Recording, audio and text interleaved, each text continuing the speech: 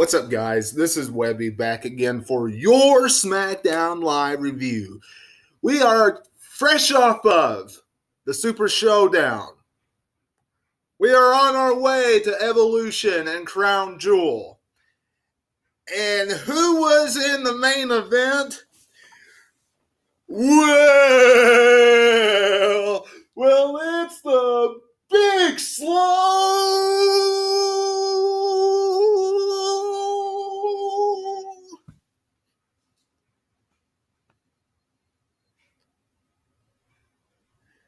You've got to be kidding me, WWE.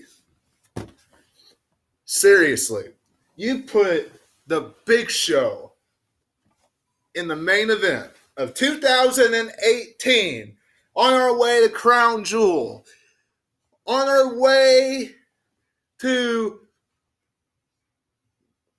what is becoming WrestleMania in November. And you put the big show in the main event of SmackDown. Now, if he was on TV next week, I could understand that because he had played a big part in SmackDown over the years. But on a regular episode of SmackDown, uh, I'm sorry, this is this was just cringe. And quite frankly, if you had them here, had him on the show to try to enhance Randy Orton's heelistic, devilistic, uh, uh, Viper character, you did a bad job. I, am going to tell you that. You can't use the excuse that uh, it's this World Cup uh, uh, uh, uh thing that's going on in Saudi Arabia when uh, you get the crown jewel. You can't use that as an excuse. The big show, main event of SmackDown Live. I have nothing else to say about that. Thank you, Randy Orton, for winning this main event on SmackDown tonight.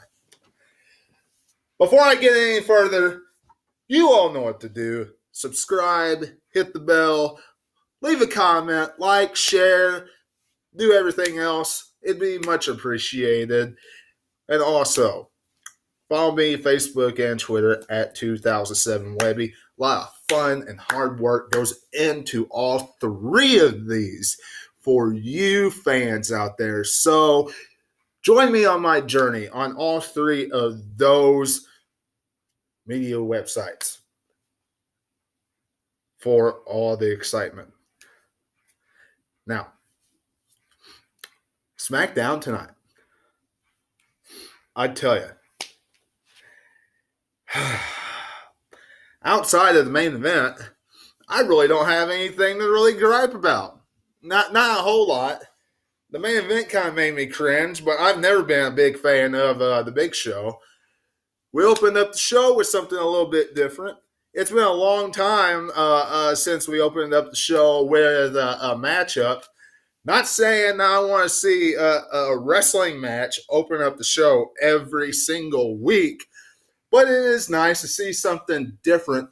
Back and forth would be nice. Sometimes have a segment open up the show, sometimes have a wrestling match open up the show. Back and forth. Monday Night Raw, it's very formulaic. Segment, 30 minutes. Match, five minutes. Another segment, another segment that's talking all throughout the show. Nice to see something different. And started off with the women's championship matchup. Might intrigue some people. Some people might find it boring, depending on what style of a wrestling uh, uh, uh, fan you are. In any case, this rivalry, Charlotte and Becky Lynch, has been one of the more uh, intriguing rivalries SmackDown has been offering to its wrestling fans. And come evolution, another first. First time ever. Last woman standing between Charlotte and Becky Lynch. It's it's nice seeing somebody else in that spotlight. Honestly, it really is. You know, we always saw either Bayley and Sasha or Charlotte and Sasha or Alexa doing first time ever or or everybody on Raw doing first time ever, things of that nature. Nice seeing Becky Lynch getting one of these first time evers in, the WWE, in my estimation, because uh, uh, up until this point, she's really been overlooked by the company. She's been put on the back burner and she's really getting her uh, a good push here as of late, and it's well deserved in, in my uh, uh, standards, and I'm sure in everybody else's as well. But tonight they had the okay matchup, and uh, they went through the uh, uh, barrier up on top where they come out. So that was kind of cool to see but um, they overdid it. I'm just going to say that. After they went through the Titantron,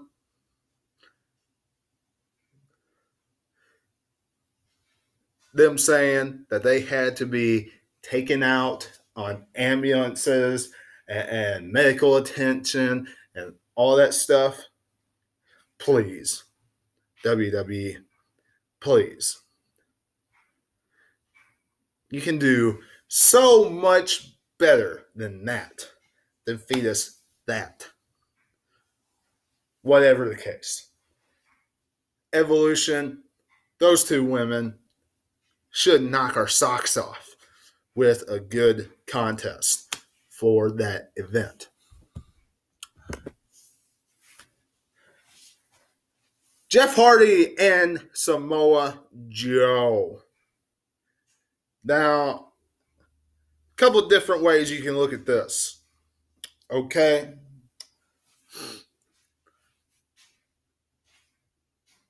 Now, uh, when they announced this match, I thought it's a shoe in.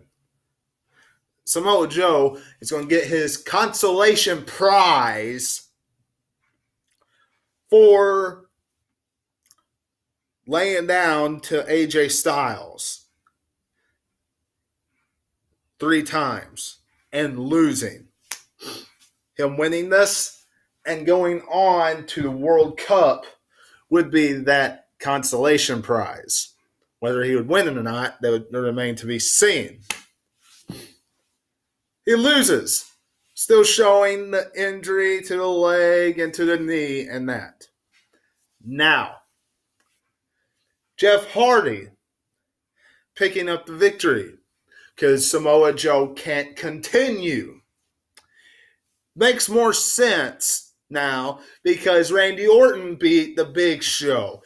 Rivalry renewed on SmackDown once they get to Saudi Arabia. That's what that's about.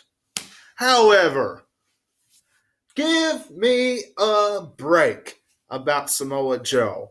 If they are just playing up the storyline from Saturday when he got his leg hurt going through the table.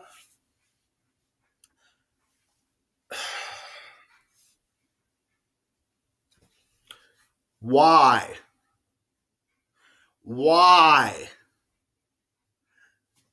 Samoa Joe is worth so much more than what you're doing with him. It is so sad how you are wasting away Samoa Joe. I tell you what,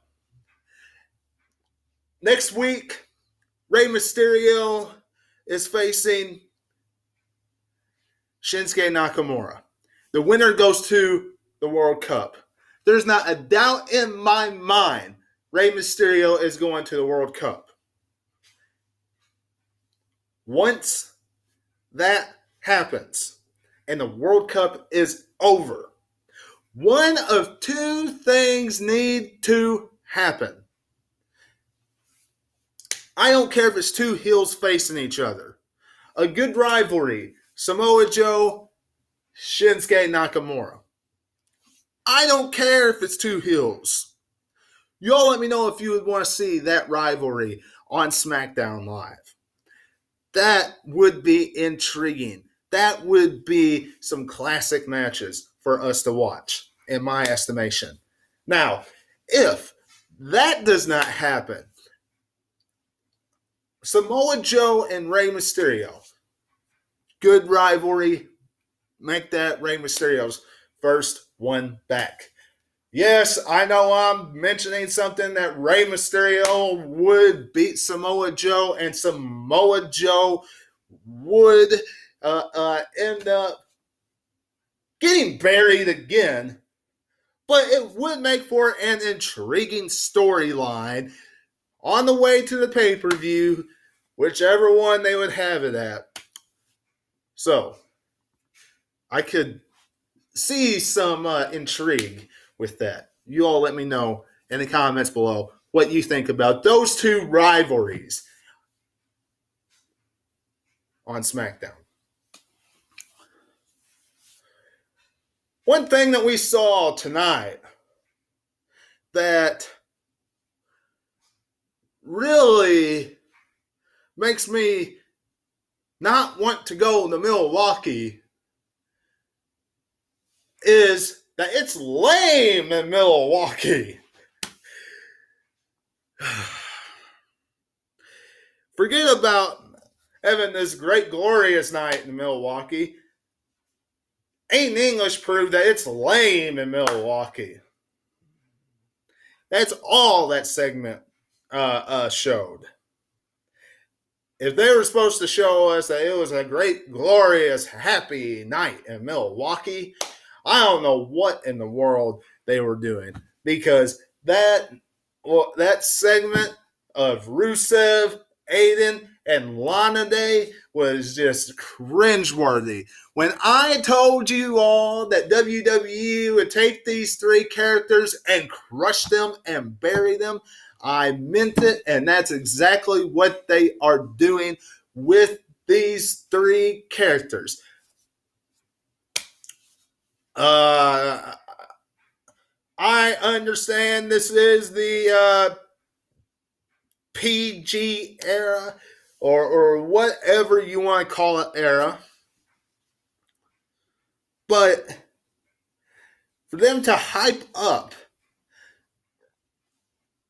this special night in Milwaukee and then it to come off as Aiden English just getting burned and turned down by Lana, and that's it.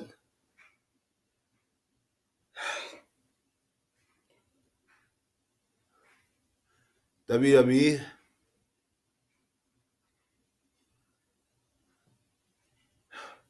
You can do better than that. Over on Monday Night Raw, you had Enzo and, and, and, uh, Rusev and Jinder Mahal and Big Cass have this big, huge, uh, uh, uh, uh I, I, don't want to say uh, a sex rivalry, but I mean, that's what it kind of seemed like. I mean, it was a big, some huge porno rivalry going on. I mean, Lana and Enzo was in a bedroom, you know, getting dirty, and, and uh, Rusev got all involved in it and interrupted Enzo and, and beat Enzo up and all different types of stuff. And you come to SmackDown and you had Lana stop Aiden cold in his tracks. So, yeah. Give me a break here. I mean, I'm not saying you have to go to extreme here, but I'm saying that was kind of lame.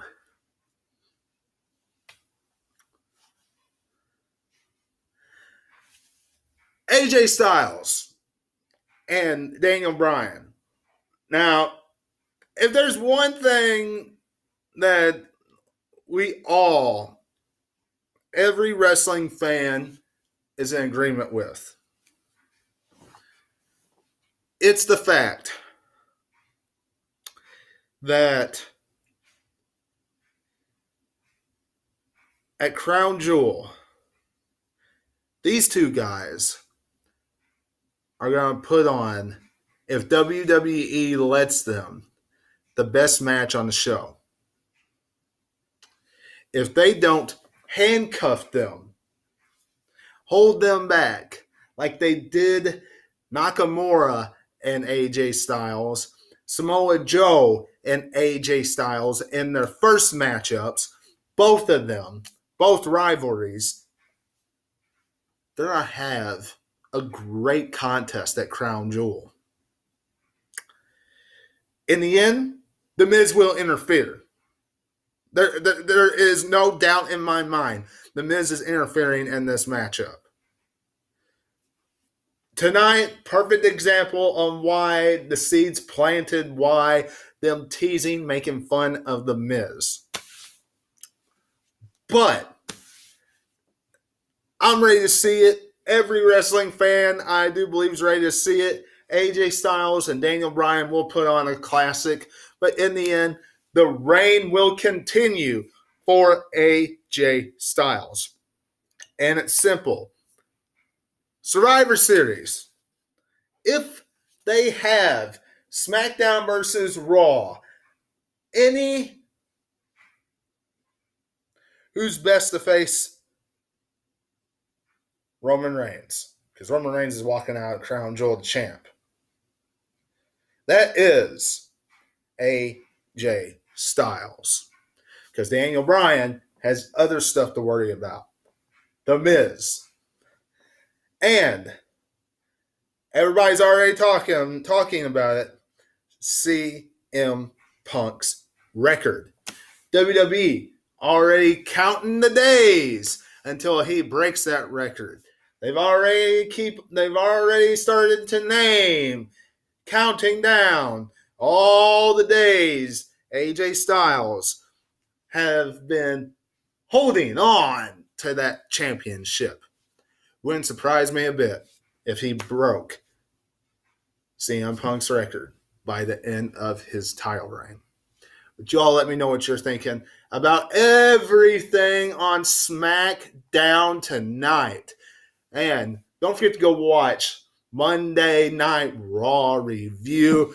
We discuss Shawn Michaels and the Undertaker's uh, a big, huge DX and, and Brothers of Destruction matchup at Crown Jewel. Nikki Bella turning heel, plus so much more was discussed on Monday Night Raw review. Don't forget to go back and check out my review of Super Showdown, which is live on the channel as well. Plus, subscribe. That would be much appreciated amongst everything else I mentioned at the beginning of this podcast. And just to let you know that my top five greatest SmackDown Live characters of all time list will come up on Thursday. So, Thursday, tune in for that. That would be much appreciated. But until I see you then, this is Webby, and I'll catch you on the other side. Talk to you later.